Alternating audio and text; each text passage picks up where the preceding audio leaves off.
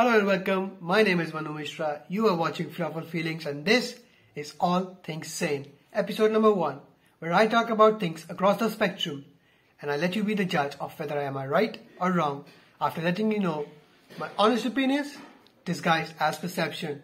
Sounds fun, doesn't it? And let's get straight to it. Today we're going to talk about sports. Two of the favorite sports that I like to follow, football and cricket. And some stories that have been doing the roundabouts in the media for quite some time. So, what better way to kick off this segment with Barcelona? Barcelona have appointed Xavi Hernandez as their manager. Now, Barcelona, a team that has been in free fall for some time, has went back to his prodigal son, Xavi Hernandez, who, let's be honest, has been the numero uno choice since Ronald Koeman was sacked and even before Ronald Koeman was appointed. The previous board was hesitant to appoint anybody with a bit of ambition because that would have cost Barcelona something they didn't have. Not just passion, they didn't have money as well. But they hired Ronald Koeman, a former player, a legend of the club, who, let's not forget, in 1992 scored the only goal in the Champions League final to give Barcelona their first ever European crown. Similar to 1999 when Ole Gunnar Solskjaer in Camp Nou scored against Bayern Munich and made Sir Alex Ferguson say those famous words, football, bloody hell. But it's been a while since that happened, and football, like the world, has evolved. Ronald Koeman's ancient tactics, or the lack of it, has caused Barcelona to lose games that they shouldn't have lost in any particular condition. Ernesto Valverde has been considered one of the worst Barcelona managers in the history, not just because of what he produced in the Champions League, but his playing style was as boring as it can get. But let's not forget, the man sleepwalked through two La Liga titles in a row, and that is no joke. The 2017-18 season where he won the cup double, the La Liga and the Copa del Rey, that is Barcelona's forte for so many years. In 2019 as well, when Barcelona were dumped out by Liverpool in the Champions League in May, in April they clinched their La Liga crown. Something that Lionel Messi always said is going to be difficult when they wouldn't be in the reach for it. Three years down the line, he hasn't been wrong. So, what does Xavi brings to Barcelona? Xavi Hernandez, the former midfield maestro, and some people who always call them the greatest midfielder of his generation, would like to watch Barcelona play the similar style of football that Xavi as a player inherited from his ancestors, footballing ancestors to be precise. But this time around, Xavi Hernandez is in the managerial role, where everything falls on him. Good or bad, it will be on Xavi Hernandez, the manager. He won't be finding any scapegoats, but will be the one. So, this is not the first case where a former player or a legend has been appointed by a club. Chelsea did in 2019 with Frank Lampard, an experiment that has been a result, a mixed bag of results rather.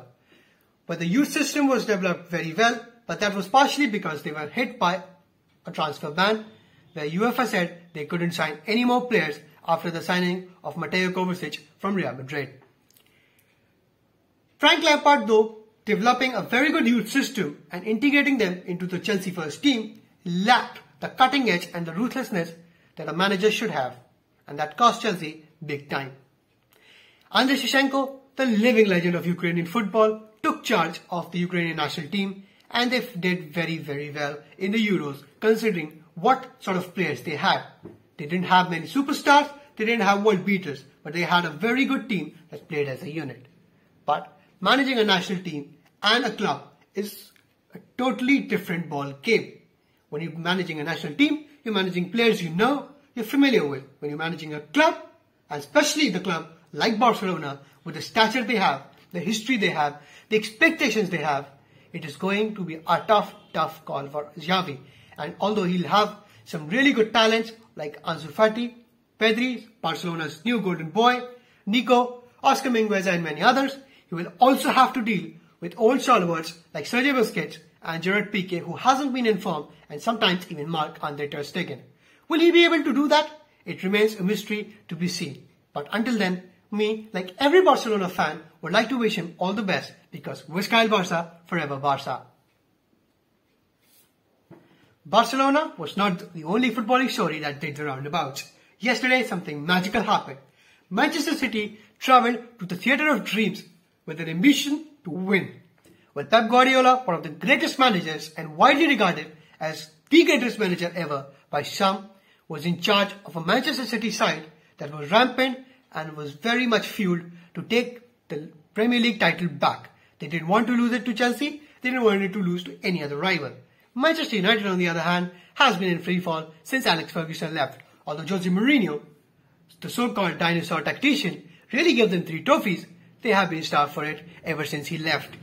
Ole Gunnar Solskjaer, as I told you earlier, the 1999 hero in Barcelona, is the manager now and has been for quite some time. But regarding the initial improvement, he has done something good.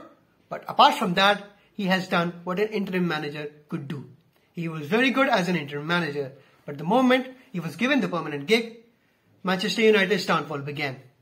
They, they just got smashed 5-0 by Liverpool a couple of weeks back, and now Manchester City, even though they only beat them by 2, 2-0, this was a more comfortable scoreline because after the second goal, throughout the second half, they were just playing like a training session.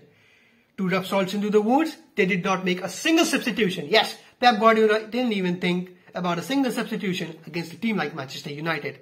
Kind of tells you where they are right now.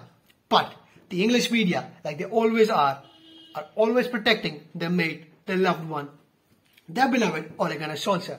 Let me read you out some of the most interesting things that have been doing the roundabouts in the media about Ole Gunnar Solskjaer and Manchester United. The Telegraph says Ole Gunnar Solskjaer expecting upfront and honest talks with Manchester United. Now, what honesty could he show a man who has been clearly out of his depth of a job that is too big for him or too early for him? In either case, the team has been suffering. What sort of honesty can he expect from him? The Evening News says Ole Gunnar Solskjaer hints at Manchester United major change after Manchester City loss. Now remember, in August, Manchester United defeated Manchester City in the signing of Cristiano Ronaldo, who was unhappy at Turin because he was pinned the main culprit for Juventus' downfall.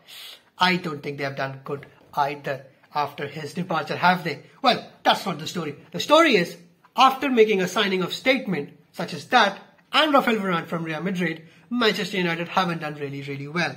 Now, as we talk, they sit fifth in the table, which is not a bad position just after 11 games, but they are 9 points off top and they will be having a fight. Brighton, Arsenal and Wolves are in their reach. Teams that under no circumstances should be in the reach of Manchester United, widely considered as one of the most followed clubs on planet Earth. Manchester United are not a club in free fall because of their footballing activities. Manchester United are a club in free fall because they decided that they don't need winners. They don't need a cutthroat manager, a cutthroat policy. They need nice people. They need people who can take the fans in the loop, make them believe through a process, the word which has been doing a lot of rounds in the media through the fans over the years, and make them believe that Manchester United are on the right path. Side by side, also making a lot of money off them. Let's not forget when they release a new shirt, like every other club, they don't forget to charge 70 odd pounds or 50 odd pounds for an away shirt every season and people buy it in the hope that they'll get to see their beloved team play farewell and win the league title somewhere near the future. It doesn't look likely anytime soon, has it? So, let me know in the comment section below if you're a Manchester United fan. What do you think about it? And although I don't follow that team much, I was very excited to see the game yesterday. Hence, I switched on the TV and sat through abysmal performances from the team in red, barring David de Gea, for whom who just is a player that gets disrespected so much that it, if it, it wasn't for him, they would have been down by 5-0 or 6-0 by the 70th minute. Anyways, let's move on from football to the sport that I guess a lot of us care about, cricket. And as I am recording this on a beautiful Sunday evening, India's chances of making to the semi-final are slim as they get, as slim as they can, and it's not looking good. But is this the only problem that Indian team has faced this World Cup? They knew they had to beat either one, Pakistan or New Zealand, and if they could beat both, then it would have been cherry on the top. But we knew it was not going to be easy. Two top international sides are never a walk in the park, especially in a World Cup tournament. Uh, not so much. And India have had the taste of their own medicine. Why I say this? Let me take you down the memory lane. March 2021 and precisely 20th March 2021, India plays the final T20 of the T20 series between India and England in Ahmedabad and they did a show. They scored 224. Remember, 224 for 2 in 20 overs. A batting masterclass from Virat Kohli and Rohit Sharma, two of India's stalwarts, and a full pack Indian team with Jonny Bairstow, the likes of David Malan, Josh Buttler, Ben Stokes, Eoin Morgan, and Jofra Archer. They could only manage 188. Now, this was a comprehensive win, a win of statement by Team India. Now, why am I referring to this particular game? It's because eight months down the line, we are struggling. We defeated England in the in the practice game of the World Cup as well, but that hasn't done much good to us either. England have been depleted by two players and two major players in Jofra Archer and Ben Stokes, but they somehow have managed to play as a unit and Eoin Morgan, despite his abysmal run of form with the bat, as a captain, has fared spectacularly well and has led his men with charge, affection, care and above all, quality. And they are into the semi-finals and they'll be playing most probably New Zealand come the semi-final of the T20 World Cup. India has had, India has been, uh, India has been in these situations, I'm sorry, India has been in these situations quite often um, in the past few years, especially in the ICC tournaments. And Virat Kohli has somehow struggled in the latter stages of the tournament. But this time around, he won't be making it to the latter stages, presumably because New Zealand will not be not be surrendering to Afghanistan, a depleted Afghanistan side who lacks confidence and experience of playing big teams in big matches. It isn't the only case uh, that has been so prominent for India. Well, no. Let me take you down the memory lane. March 2015, I don't think March suits us much, does it? 26th March 2015, the World Cup semi-final of the World Cup 2015 in Sydney. India plays Australia. Australia bats first and puts up 328 for 7 in 50 overs. A mammoth score, given so it was scored in a World Cup knockout, adding more pressure. Steven Smith had a blistering century, but the thing that does a lot of damage was Mitchell Johnson 27 of 9 deliveries. Remember, he scored a 88, a blistering 88 in the Brisbane Test earlier in December 2014 as well. That made India lose the series or else India would have tied that series 1-1 after the two test matches in uh, Melbourne and Sydney were drawn. But was it an unchaseable target? No, it wasn't. India has chased against Australia. Remember the Jaipur Run Fest in 2013. India has done that. But India here succumbed to pressure and Mitchell Johnson once again, proving why he was one of the best bowlers at that time, taking two of India's stalwarts out in Rohit Sharma and Virat Kohli. This, this is just to give you a reflection, a, a taste of what India does in pressure games. And although they haven't played a pressure game in this World Cup because they haven't got to the latter stages and they won't presumably, given how the things are going. But when they were playing in Pakistan and New Zealand, they somehow managed to underperform severely and they are in a situation where they will be playing against Namibia and will be heading straight home. That shouldn't have been the case, but it has been. What does India need? India needs a revamp in its thinking, in its mentality, and although I'm no cricket expert to uh, tell them how should they play on a particular delivery, but it's, it's clear to the naked eye, they need a fresh set of ideas from the top to the bottom to when they approach such a game or games like these or tournaments like these, they have a clarity in mind and they can say, okay, we are going to play in a certain way against a certain opposition. Horses for courses has been true yesterday, is true today, and will be true forever. There's a reason why Cheteshwar Pujara doesn't play in T20s and Ishant Sharma doesn't get any taste of white ball cricket whatsoever.